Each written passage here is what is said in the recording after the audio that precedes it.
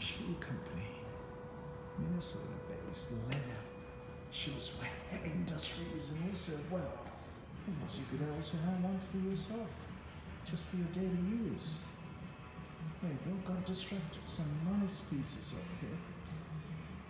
And, uh, yeah, I'll tell you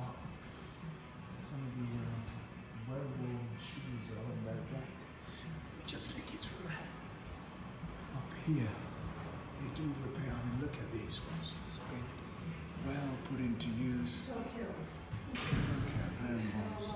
Look at these ones. Straight off. Established since 1905. And see, once it's been re kind of reworked on, it's kind of got a new shine, finish, resold, repaired.